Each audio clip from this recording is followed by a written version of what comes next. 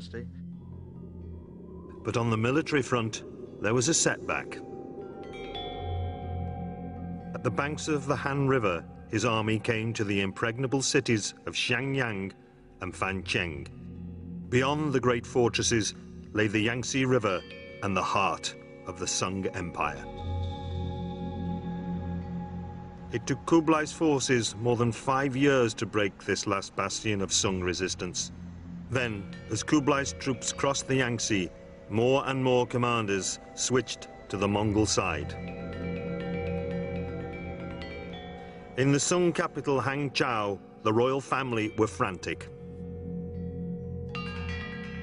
The Sung emperor at the time was only four years old. Affairs were handled by his aging mother, and in 1276, the Empress Dowager finally admitted defeat. The Sung leaders were taken as privileged prisoners to Kublai's court, but the four-year-old emperor was spirited away. So Kublai sent his forces in pursuit.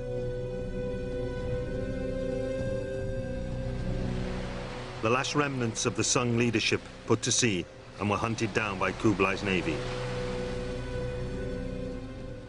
The last that was seen of the boy emperor was in the hands of a Sung admiral, who jumped into the sea with him, declaring, the Sung emperor chooses death rather than imprisonment. It was now 1279. 70 years of on-off warfare with the south was over, and the whole of China was in Kublai's hands. After defeating the Sung, Tartu became the capital of all of China and would remain so right up to today. One of his first priorities was to improve communications between north and south. To do this, Kublai employed three million labourers to extend the Grand Canal to carry grain from the fertile south up to the imperial city. Kublai could now draw on the resources of the most advanced nation on earth. The Sung led the world in the quality of their goods, and their busy trade routes would make Kublai one of the richest men on earth. The Mongol Empire now had the largest army in Asia, the largest fleet, the most prosperous people, and the largest city on earth, Hangzhou. It was a spectacular achievement for Kublai, and it cemented his position as Great Khan. Kublai treated the deposed Sung royal family well, and he told his forces he would not tolerate any looting of the South's riches. Kublai knew he would have to win over the people of the south if he was to lead a united China. To do this, he ensured that South China would receive the same help towards recovery from war that the North had.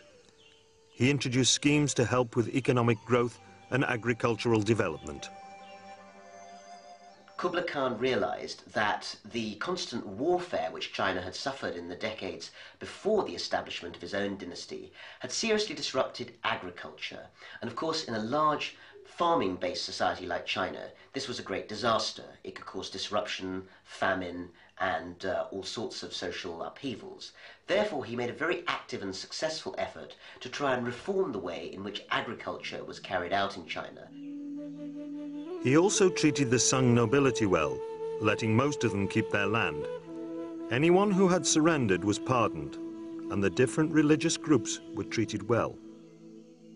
In fact, in religious affairs, he was tolerant of different beliefs all through his reign.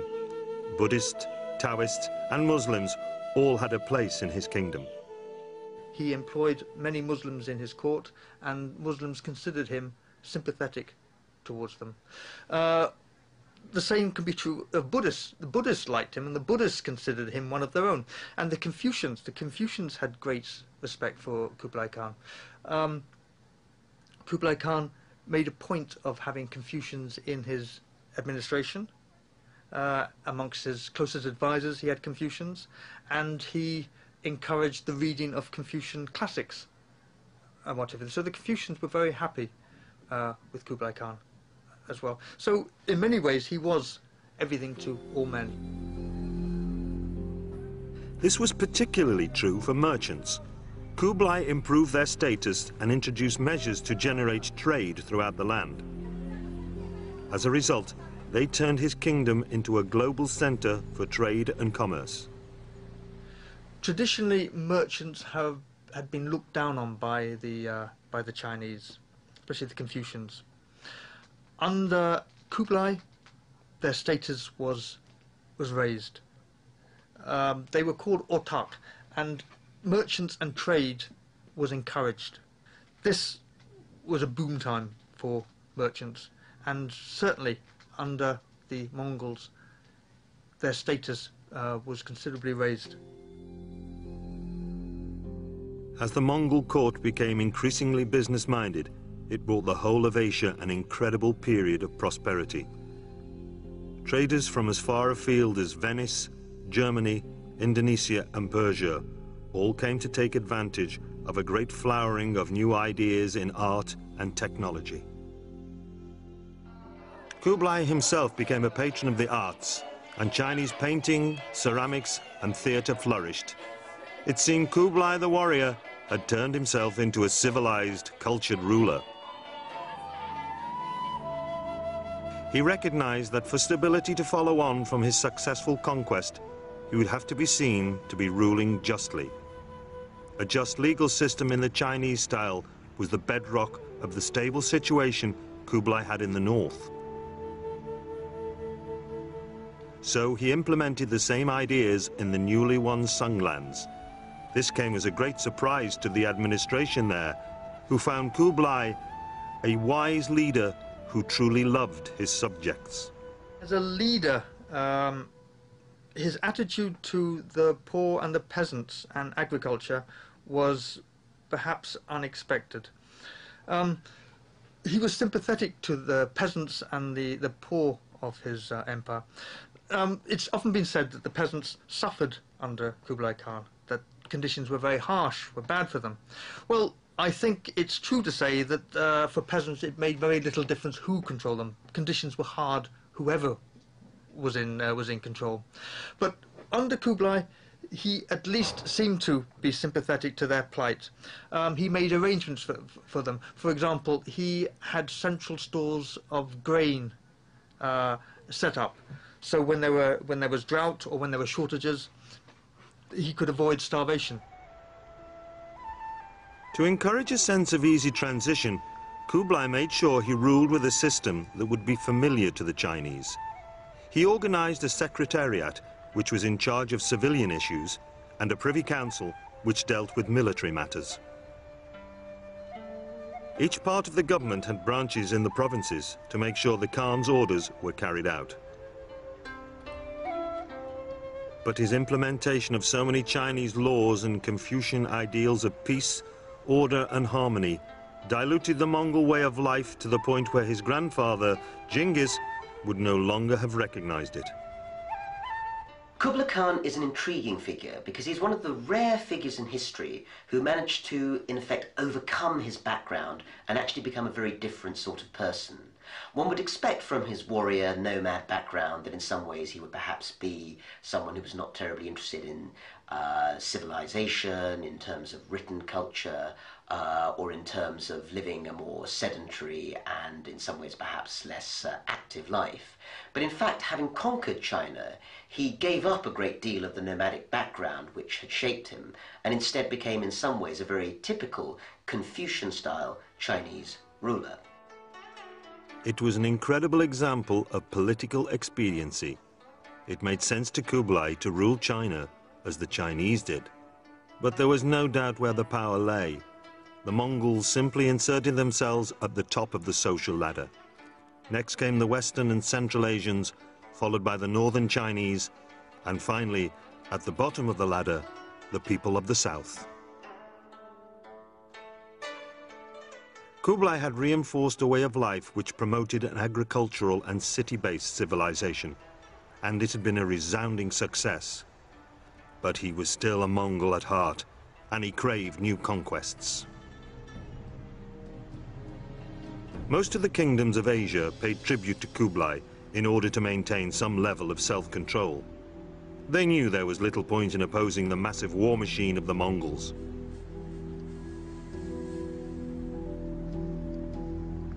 But Kublai still felt there was one thorn in his side, Japan. He had sent many requests that Japan accept him as their emperor, but every offer was met with the execution of his envoys. It was the challenge Kublai had been hoping for. He enlisted the reluctant Koreans to crew the Sung ships he had captured and mounted his first invasion of Japan in 1274. An army of 20,000 cavalry and infantry reached the offshore island of Iki and overcame the Japanese forces there. But as the day wore on, the weather began to change, and when a storm broke, the fleet was caught in its full fury and was destroyed. But Kublai wasn't to be deterred by this setback. The reports he'd received from the first attack showed that the Mongol forces were superior in every way. They had simply been the victims of bad luck. So a second invasion was launched in 1281 with a two-pronged attack from North and South China. The commanders were to meet on the island of Iki and then converge at the center of Hakata Bay. But the Japanese were better prepared than the first time, and Kublai's forces met with fierce resistance. Fighting went on with little progress for two months. Then disaster Another typhoon struck and slammed the Mongol boats against the rocks. Almost all were lost. The Mongol forces trapped on shore watched in horror as their only chance of escape sunk. The elated Japanese forces quickly overran them. But even then, Kublai didn't want to give up. Very stubbornly, after this terrible defeat, which was extremely costly in terms of men and equipment, of course, and financially, he was determined to have another go against Japan.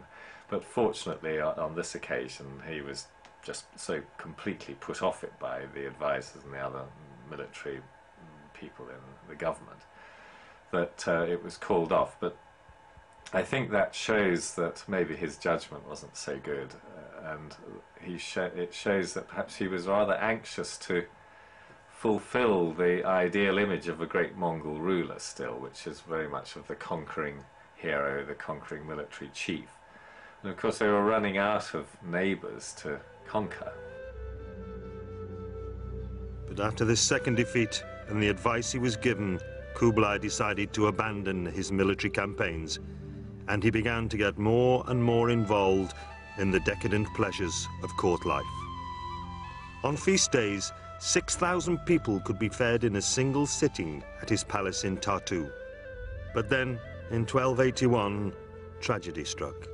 His beloved Chabi died, followed four years later by his son and heir, Chenchin. It was more than Kublai could bear.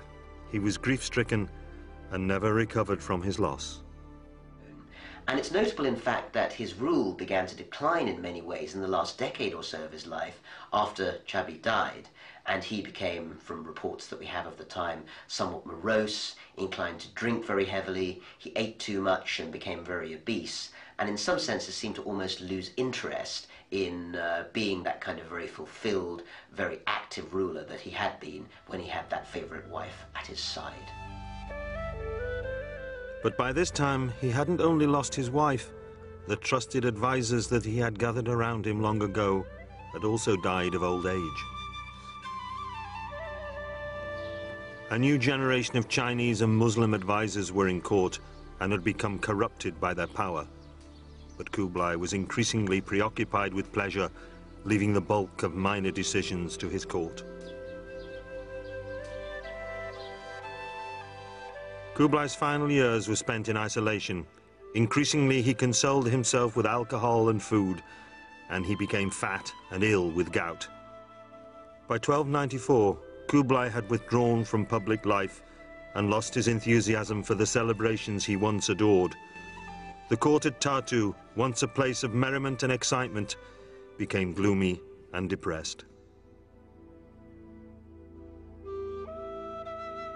In February, when he was in his 80th year, old age and over-excess finally got the better of him. The great Kublai Khan died alone in his palace.